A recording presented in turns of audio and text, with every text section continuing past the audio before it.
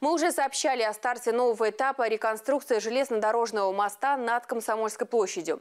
С 30 марта там были введены ограничения движения транспорта и пешеходов.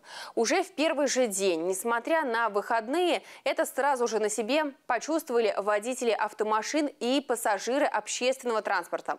С началом новой рабочей недели ситуация стала еще более напряженной. Власти города рекомендуют выбирать альтернативные варианты проезда. Например, из э, Пролетарского района в направлении Заволжского района лучше использовать маршрут движения через трассу М10. Если водителю нужно попасть из Пролетарского района в Центральный, можно выбрать маршрут движения через улицу Двор Пролетарки или через микрорайон Южный.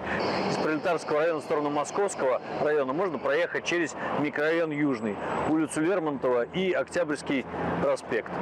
Место проведения работ обозначено дорожными знаками установлены специальные заградительные устройства.